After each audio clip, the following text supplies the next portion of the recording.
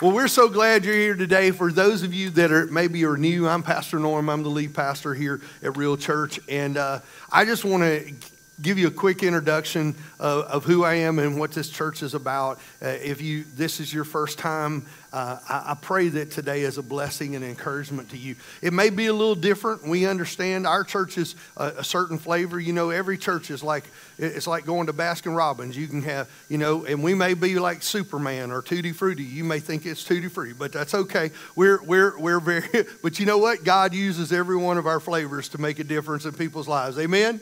Amen. So we're, we're glad you're here. But I wanted to tell you what Real Church is all about. We planted Real Church a little over seven years ago. And it's, it's not because we think we're real and everybody else is fake. You know, we got, we got some comments about our name. But uh, it's, it's all because, uh, you know, we want you to come to Real Church and you can be authentic. You can just be real. You don't have to pretend and put on your happy face. When you come into church, if you're having a crappy day, you can say, I'm having a crappy day. And you know what we'll do? We'll pray for you.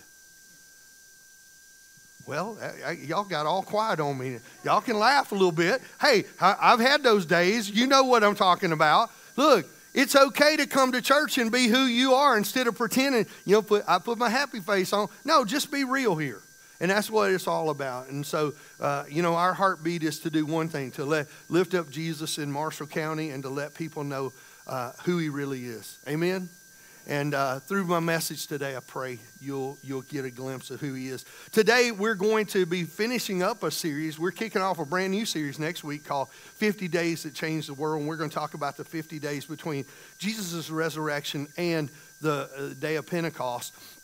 That's going to be a great series, so I encourage you to be a part of that. But, but today, we're finishing off a series that we've been doing called Spitting Image. And spitting image has all been where we've been taking names of God in the Old Testament and then finding the, the New Testament fulfillment. And today I'm going to give you a name that's kind of, it, it may be out of the norm, maybe one that you haven't heard before, but it actually comes from uh, Genesis chapter 14. But, but it's the name El Elyon or Jehovah Elyon, which means the Lord Most High. And you go, I hadn't heard that. I hadn't read that. It's in there. It's, it's the Hebrew when, when uh, actually Melchizedek actually is talking to Abraham and he calls the Lord the Lord Most High or God Most High. And so today we're going to talk about who the Lord is. You see, that word comes, Elyon, actually originates from the Hebrew root, which signifies to go up or to ascend. It means he's the highest of the highest. I don't know about you, but if I'm going to live for a God, I want to know He is the top. He is the only one. He is above all. You know, uh, I was doing some missions work years ago in Thailand, and I was actually, uh, we, were, we were witnessing to some young people and uh, we were in a city called Pattaya. And if, if there's anything that I would call a modern Sodom and Gomorrah, that's, that's where this place was. In fact, we would only go during the daytime because the nighttime was so, it was like being on Bourbon Street during Mardi Gras. Uh, I'm telling you, it was it was st- tough. But we were out there ministering, and, and in that country, they have they're really focused on the spiritual realm. In fact, most most uh, of the Thai people have a little spirit house in the, uh, on the on their piece of property, and and they go out and make sacrifices to it because they're scared of the demonic or the other you know gods that can get them. And so I'm telling this kid about Jesus. And when I told him, I said, He's overcome all power in heaven and earth is given unto him. He goes, You mean he's like the top one? I want him. And I don't know about you, but I, if I'm going to live for a God, I want to live for the Most High God. I want to live for the one who is the undisputed world champion God. Come on, somebody. In fact, the psalmist uh, kind of sums it up in Psalms 97 9. He says, For you, O Lord, are the most high over all the earth, and you are exalted far above all gods, little g, gods. Anything and everything that can pretend to be a God, the Lord is higher than that God. You know, if, if you're thinking about this, li- listen, this, this whole verse encapsulates the essence of Jehovah Elyon. His absolute sovereignty, his unparalleled supremacy, And, and you know, when we think about a God who is the Most High, there's some things that come to my mind. You know, I want to know that He rules and reigns, that He's in charge of things. And God does. I want to know that His influence is beyond conceivable boundaries. See, God operates not in the seen, just the seen realm, but the unseen realm. He operates in the natural and the supernatural. Aren't you glad you got a God that's that big? We used to sing in, in kids' church, My God is so big, so strong, and so mighty, there's nothing my God cannot do. You know why? Because that's how great our God is. He is a great and mighty God. He in in guy guys, you got to recognize this. God's supremacy is unquestionable. His power is unfathomable and, and unmatchable. And so when we think of this, it really is all encapsulated in a person. If you want to see who Father God is, you look at one person, and his name is Jesus. Jesus is the embodiment of the Lord Most High. Jesus is the embodiment of the Lord Most High. In fact, if, if, that's, that's the whole thing. If you want to see who Father God is, look at Jesus. Because he says, When you've seen me, the Son, you've seen the Father. When you've seen the Son, you've seen the Father. Now, a lot of people have misconceptions of who God is. They think God is this mean God sitting up in heaven with a big hammer just waiting for you to get out of line. How many of you grew up with that kind of impression of God? I know I did. It's like, just, just get out of line. I'm going to pounce. Just get, I'm going to get you. Right? Because you say, Pastor, I heard so much about that fire and brimstone and, and, and judgment and all that. And guess what? God's going to judge this world. But I want you to know that Jesus came to give us a picture of God's heart so that you don't misunderstand who God is. God is the Most High God, and, and, and we see this invisible God manifested in the person of Jesus Christ. He is the perfect reflection or the spitting image. In fact, when the angel came to proclaim this to Mary in, in Luke 132, he even says this. He says, And Jesus, he, Jesus, will be great and will be called the Son of the Most High, and the Lord God will give him the throne of his father David. Jesus demonstrates the great lengths that Jehovah Elyon will go to save his people. What did Jesus do? Jesus laid down his godship. Okay, he was still God, but what he does is he puts on human flesh and he comes to live with us. I don't know about you, but I'm glad my God came to live and understand who I am. He came to live with us. He did that and he lived, he gave us a model uh, to follow. His lifestyle is a model to follow, and he lived a perfect life and became the perfect sacrifice, even giving his life as death on the cross. Jesus really shows us the Most High God, who is supreme and yet he's sacrificial, that he was willing to die for you and me. He's omnipotent, all powerful.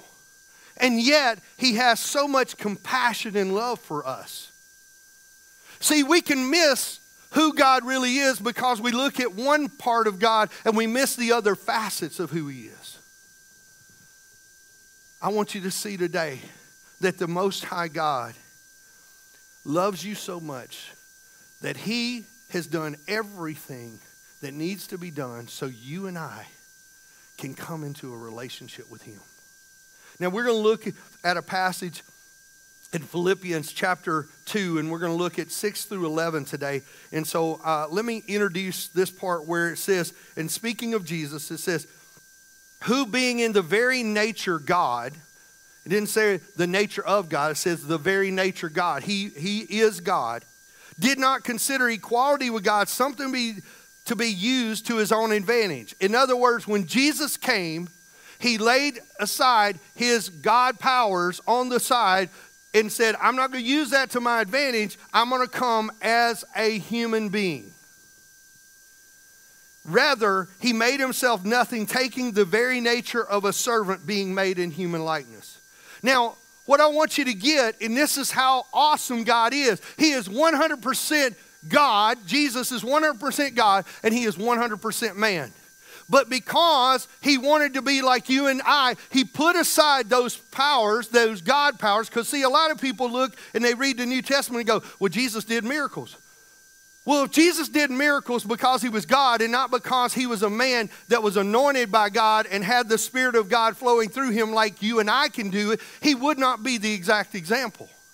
His miracles testify that he is a man used by God, filled of the Spirit, so, guess what? When, when we say pray for people, guess what? God's no respecter of person. If He used Jesus, He'll use you. Through His miracles, through His life, when, when He came and He laid that down, what He did is He lived a perfect life. He is the last Adam. He's the last Adam. You say, What do you mean, Pastor? Well, the di- only difference between Jesus and us is when He was born, He had no sin nature. He didn't already, he wasn't already contaminated by sin. He was like the first Adam. But when he lived his life, he lived a perfect life. He did not fall into temptation, but he understands everything you and I go through.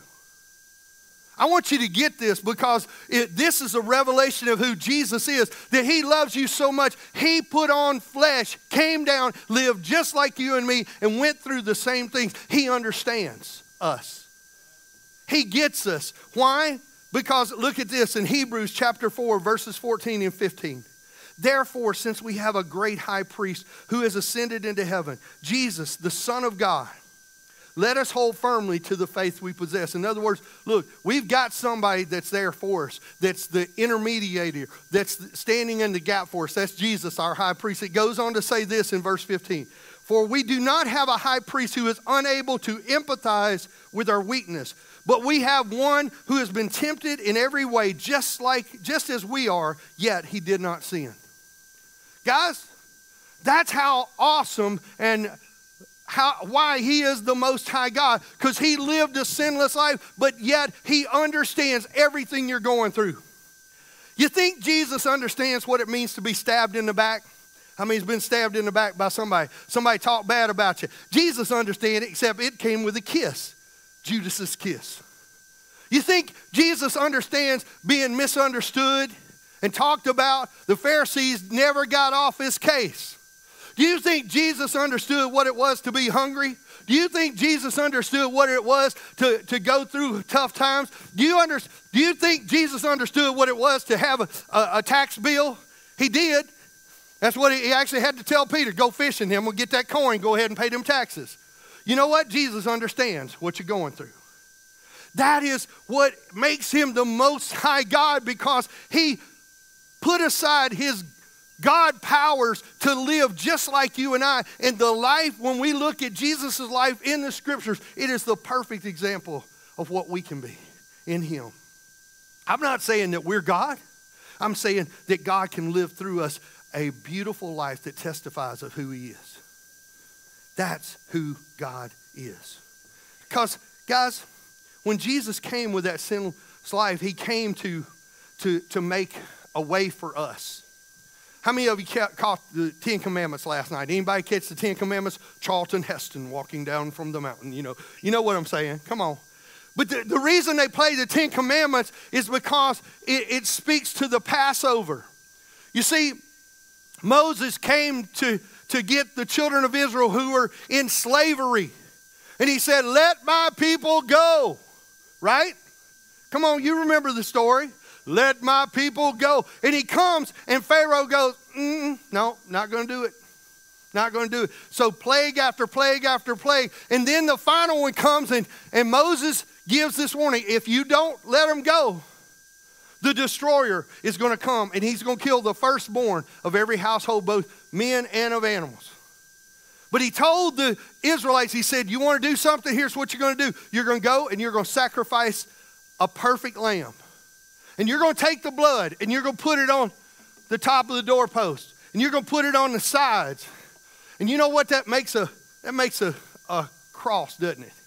You see, you put it on there, and what's going to happen is when the enemy comes, he's going to pass over you, even though you should have had the firstborn taken of your household. He's going to pass over you because of the blood. That's why we were singing about the blood this morning. I plead the blood of Jesus because it, it covers me. His sinless life made a way for me to overcome my biggest problem and your biggest problem. Our biggest problem is what? Sin. I mean, all you got to do is turn on the TV, pull out your phone, probably getting a notice right now. Oh, whoop, whoop, this happened. Oh, that happened. It doesn't take a moment. You and this look, this problem is not a financial problem, it's not an emotional problem, it's not a socioeconomic problem. It is a sin problem. Now, if there was a way that we could take care of our sins, it'd be great. But we have no way to take care of our sins. But because of what Jesus did, because of him coming and giving his, his life, he dealt with sin once and for all. Amen? Come on, somebody. I'm telling you. And, and so I want you to, to, to realize this that he is the Passover lamb. John saw him coming one day and he said this in John 129. It says the next day John looked and saw Jesus coming toward him and said, "Look, the lamb of God that takes away the sins of the world." Jesus came as the Passover lamb to deal with sin. So, I want to talk to you for just a moment of the Jesus' conquest over sin. Jesus' conquest over sin. The very first thing he dealt with, he dealt with the reach of sin. Jesus dealt with the reach of sin. All of sin and come short of the glory of God. Sin is not your neighbor's problem. It's not the, the, the problem of the political party you dislike's problem. It is all of our problem. Got quiet in this house. Mm. No, really, it's all of our problem. It's, it's, it's like a story I heard. Uh, Charles Spurgeon, one of the well-renowned preachers, uh, he was he, he, he told this story of a, a, missionary that went to visit one of his guys in the bush and, and, and he goes to his hut and it's and, and he sits down and he's waiting to talk to this guy and it's just filthy it's all dirt and everything and, and he, he kind of he the missionary looks at the guy and goes why don't you clean this up? Why don't you go get some soap and water and like clean the floor? And he goes, Sir, my floor is like pressed down clay. If I put water on it, it's just gonna make mud. And if I put more water on it, it's just gonna be worse and worse and worse. And you know what? That's just like us. When we try to take care of our sin, when we're trying to deal with our sin, it just gets worse and worse and worse. How many's been there, done that, got a t shirt? You know what I'm saying?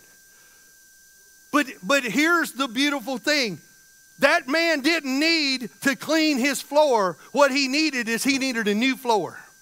And with us, the same is true. God, we don't need God just to clean our heart. We need a new heart. If anyone is in Christ, he is a new creation. The old is gone, the new has come. You need a new heart. And if you don't have a new heart, guess what? That old heart has got sin in it, and it's going to be hard to deal with. It, it's like, I just can't seem to shake this. You know why? Because you haven't been released from the reach of sin. But let me talk about this that Jesus' death and his sacrifice gave us a new heart. Here's the second thing the results of sin. There's a result to sin. The wages of sin is death. That's the paycheck for sin. That's what we get. But you see, God, God said this in Genesis. He said, I'm going to judge sin. In Ezekiel, it actually says, the soul that sinneth shall die. But God had set up in the Old Testament a covering for sin, a layaway program, if I can say it that way. How many of you remember layaway? Few of us do. TG and Y. How many remember that? TG and Y. I don't. Very few people know what I'm talking about. I'm, I'm, I'm, I'm definitely aging myself right. But it's a layaway program. You see, in the Old Testament, they would take an animal, and an animal would be given as a sacrifice to cover, just to cover our sins. And what they did is they had to take a perfect sacrifice, one without blemish, one that was perfect, and they would sacrifice that, that lamb. And what they would do is the blood would be used to cover the sins, but it was a death for the death that they deserved. Look at what Jesus did. Jesus loved you enough that he took all of your sins upon him. He became that perfect sacrifice without blemish. And because he took that upon himself and he allowed, I mean, he submitted to God's plan to, to, for him to be that perfect sacrifice. He purchased and paid for your death. So you don't have to die twice, you only die once. Let me say that again. You don't have to die twice, you only die once. You go, what do you mean, Pastor? Well, there's one physical death, but there's a spiritual death after that because you can deal with your own sin. Here's the way you deal with your own sin you can go at the end of your life, you're going to die natural death. But then you're going to stand before the judgment. If you don't have anything to plead when you get before the judge, you're going to be sentenced to that second death.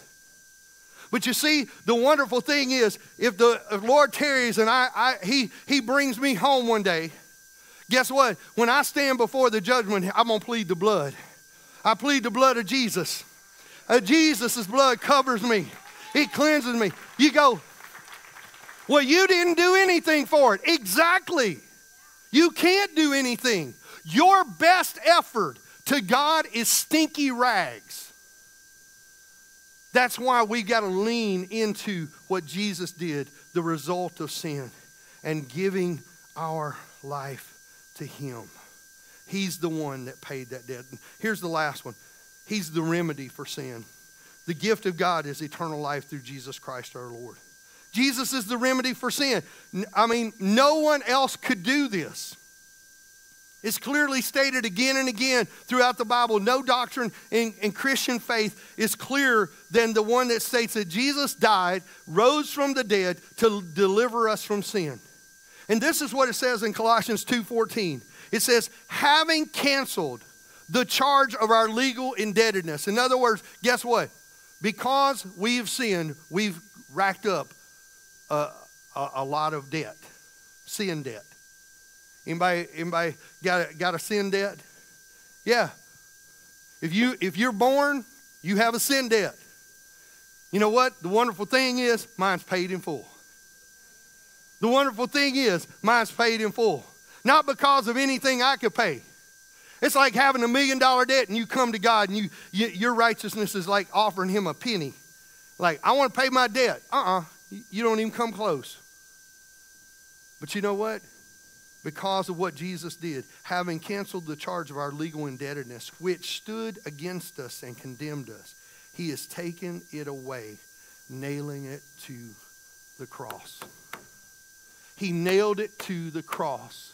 He he crucified it. He put it on the cross. He paid it. In fact, when he was hanging there, when he was hanging there, the Lamb of God, the perfect sinless Lamb of God, was there, and there was no other payment for sin than his life. And when he was hanging there, the devil thought he had won a victory. But when Jesus started to say, It is finished, you know, the Greek there, it's a, those are legal terms. Paid in full. It is finished means paid in full or sentence served completely. It is finished. And when he said that, all of hell began to shake. And he went down to hell. Did you realize that Jesus went down to hell? And what he did is he took the keys of death, hell, and the grave away from Satan. The, the, the very authority that the first Adam laid down, Jesus picked up for you. He picked up. And, he, and on the third day, as he's coming out of that tomb, he steps on the chest of, of, of death and he, he says, Though I was dead, I am alive forevermore. Amen? I'm telling you, that's what Jesus did for you. And what he was doing through all of that is he was trying to show you the heart, to unveil the heart of the Lord Most High to you. He was trying to show you that heart of boundless love and mercy for all humanity. That's the reason it says in Philippians 2 8, it says, And being found in the appearance of man, he humbled himself by becoming obedient to death, even death on the cross. Jesus obeyed God's will and desire and plan to save us, even though in the natural he didn't feel like it. You say, Pastor, I, th- I thought Jesus really wanted to go. Jesus was man. He was man. He had laid down his God powers and he's man. And you see it when he goes to the garden. He knew what he was about to face, and yet he went away and he, he prayed this prayer in the garden. He said, Father, if there's any other way that this cup can pass from me, let it be done. But not my will, but your will be done. He didn't pray that just once, he prayed that three times. I don't know about you, but I wouldn't want to look forward to being beaten with a cat of nine tails. I wouldn't want to look forward to having a crown of thorns pressed down on my head. I wouldn't look forward to, to my, my hands and my feet being nailed to a cross. I, I'm sorry, I wouldn't look forward to that. And I don't think Jesus looked forward to it either, but this is what he did. For the joy set before him, he endured the cross for you and me. He endured the cross because he loves you. And that's the heartbeat of God, that God would go to that length to have a relationship with you. To have a relationship with you.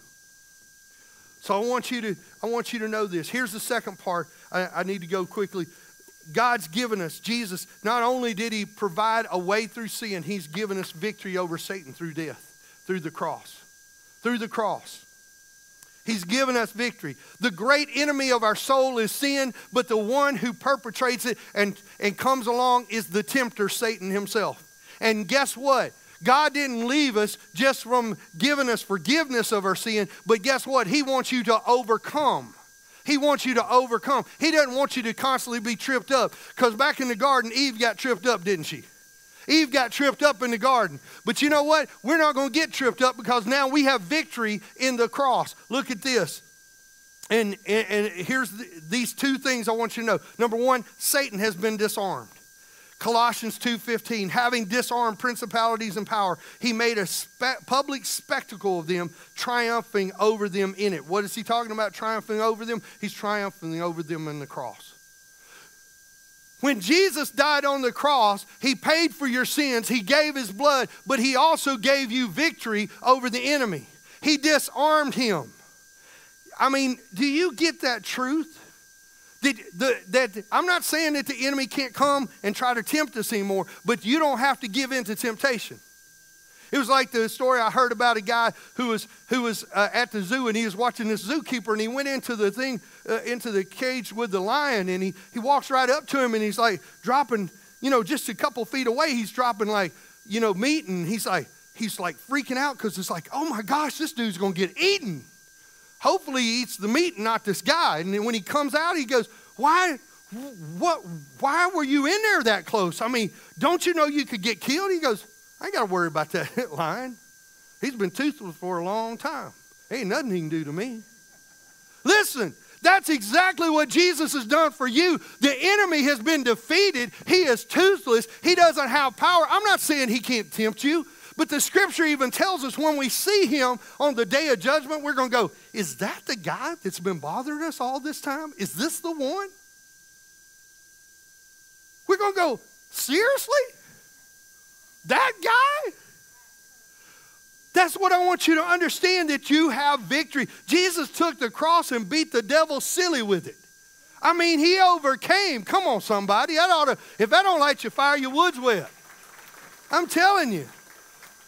And so when Jesus he he has won that victory, he I want you to know this that Satan is also he's not just disarmed, but he is defeated. I have a little tear apart devil and I take the arms off disarmed and then I pull the feet off and defeat. Okay, you'll get it in a minute. So he made a public spectacle of Satan. Do you realize that goes back to the way the Romans would do when they had overcome a, a, a, country or something, they would take all the, the leaders of the, the, the uh, losing army and they'd put them on a cart and they would parade them through the whole town. And everybody goes, loser, loser. You know, that's exactly what Jesus did. He made a public spectacle of Satan on the cross. That's why the cross is so powerful, guys. That's why we are so blessed that the Lord took this. I mean, he, without sin, gave his life. He gave it and took our place. In the very pinnacle of victory, what he did is he rose from the dead. He took away the power of death away from the devil, and Satan is defeated. That's why he's the Lord Most High. But he also didn't just do it so he could win the victory, he gave you the power to overcome. In fact, it promises that his people in the end times in Revelation chapter 12 and verse 11, it says, And they triumphed over him, talking about Satan, by the blood of the Lamb and by the word of their testimony. And they did not love their lives so much as to shrink from death. In other words, they weren't worried about things. You know why? Because they knew their God had them. So they overcame him by the blood of the Lamb and the word of their testimony. I'm glad I got victory over the enemy. Amen. You have victory over the enemy if you know the Lord Jesus Christ. If you don't know the Lord Jesus Christ, I mean, I hate to say it, but you're like, you're like lion food. The enemy will come after you. That's why he says the enemy is like a roaring lion seeking whom he may devour. You know, those of us that know Christ, and I'm not trying to put you in an odd place, but if you don't know Christ, you are lion bait. That's who you are. He's looking who he can devour. But God has given you the victory. Now, the final piece of this is, and let me bring it to a close, is Jesus is the doorway to new life. Jesus is the doorway. He's given us victory over sin. He's won. We have the uh, we have victory over Satan, and now we have a doorway to new life. You know, a lot of people look at the cross and they think the cross is a dead end. I mean, the, excuse me, the tomb is the dead end, but it's not a dead end. It, this is not an entrance door for us. This is an exit door for us. It's not an entrance door for us, it's an exit door. God has made a way where there was no way. Look at this from Hebrews 10, verses 19 and 20. Therefore, brothers and sisters, we have this confidence to enter into the holy place by the blood of Jesus. In other words, we can come into the presence of God now by the blood of Jesus. And He opened by a new and living way that He opened for us through the curtain, that is, through His flesh. In other words, by Jesus' death on the cross, He made a way for us to have new life. He said, I am the way, I am the truth, I am the life. If you're going to have, if you've got to follow His way, He is the way to real life, eternal life. He is the truth. You have to believe it. And, and He will give you that life that we're all desiring. It's, it's through His death and sacrifice of His body, He made a way for us to come into relationship with God because that is real eternal life. My, one of my favorite scriptures, John 17 3. Now, this is eternal life. You want to know what eternal life is? Here's the answer. Now, this is eternal life that they know you, the one true God, and Jesus Christ, whom you have sent. Jesus said this. Now, this is eternal life. You want to know what eternal life is? It's getting to know Jesus, it's getting to know God the Father. Because when you know them, you have real life. So many people think eternal life is what we do when we close our eyes in this life and, and wake them up in the next. Guess what? Eternal life doesn't start then, it starts right here and now when you know Jesus. That's where eternal life. Listen, there, some people go around and go, well, this is just the best it can get. No, you know what? I get a little bit of heaven here on earth. You know why? Because when I have a this beautiful, sweet relationship with Jesus, it doesn't mean that God takes me out of all my struggles and my problems, but I tell you this, He takes me through it. He goes with me through it. He's with me every step of the way. I don't have to go alone. I've got somebody that helps me. He wants to give us that kind of life. And that's that Zoe life. I, I want you to understand that it all comes through what Jesus did for us. And that resurrection declares that new life that we have. In fact, in Romans 6 4, it says, We were therefore buried with him through baptism into death. Now, let me say this. If you hadn't been baptized, we're baptized in a couple weeks. Because, see, what it, this verse says is what an, is an illustration of what we do in baptism. We're, we die with him, we're buried with him, we're raised to new life in him. That's what baptism, it's an outward expression of the inward change. And what is the inward change? Is that we were ba- baptized, we were buried with him through baptism into death in order that just as Christ was raised from the dead through the glory of the Father, we may too have new life. That's the new life. New life is a relationship with God. It's a relationship with Jesus. And he doesn't want you to live in death. See, a lot of people are dead spiritually. They're still in the tomb. It's hard to live in newness of life when you're still living in the tomb, when you're still living under the curse of sin, when you're dealing with all of that. But I know this that if you will turn to Him and you'll surrender your life to Him and you'll give your life to Him, here's what will happen the God of all creation will come and He will come and abide in you. I don't, does that blow your mind? That the God, the Lord Most High, loves you so much that he went to all this length. He's not this God in heaven waiting to pounce on us and kill us and destroy us. No, you have a God who loves you so much that he sacrificed his own life on a cross so he could just have a relationship with you. That's the Lord Most High. That's how great he is. And that's why when and let me finish with Philippians 2, and this is my last scripture. It says, Therefore, God exalted him to the highest place and gave him a name that is above every name, that at the name of Jesus every knee shall bow in heaven and on earth and under earth. That means those that have already gone on, that are saved, those that are, are sinners, are, are here on earth, saved and unsaved, and those under the earth, that means Satan and his crew. Guess what? Everybody one day is going to do this. They're going to bow their knee in heaven and, earth, and on earth and under the earth, and every tongue acknowledge that Jesus Christ is Lord to the glory of God the Father. We're all going to bow our knee to Him. Here's the decision that we have to make Are we willing to surrender our life to Him? Because there is no other name there's no other name under heaven by which a person can be saved. No other name. So, will you surrender to Him today? Let me explain that because I want you to get this. Surrendering is that you're willing to let Him be in charge.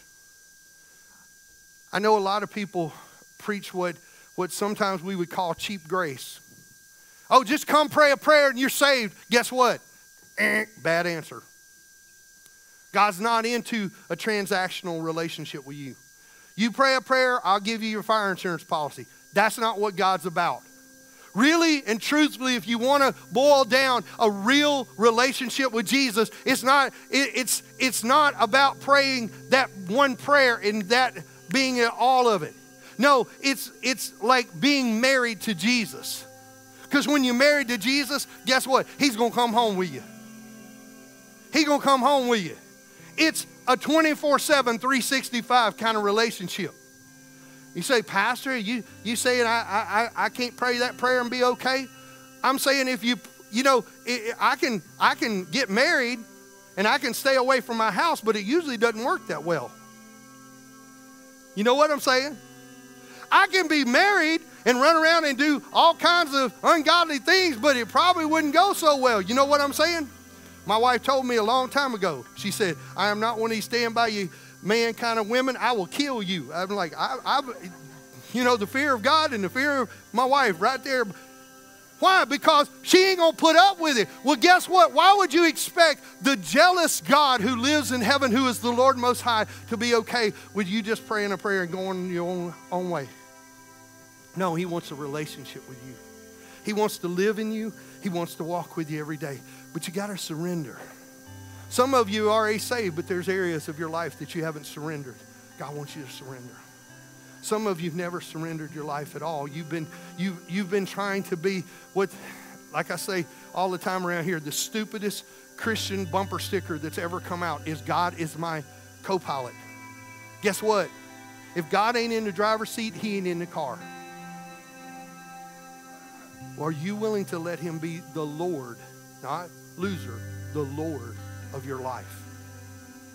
Are you willing to let Him be in charge and lead you and direct you? And are you willing to follow Him? Because, guys, that's how much He loved you. He laid down His life so you could know Him. So, let me close with this. If you're willing to receive Him, and receive is more than accept. It's more than just saying in my head, oh, I, I Jesus. It's where you accept him in your heart and say, I want to have a relationship with you, a 24 7 relationship with you. You can do that today and surrender your life to Him.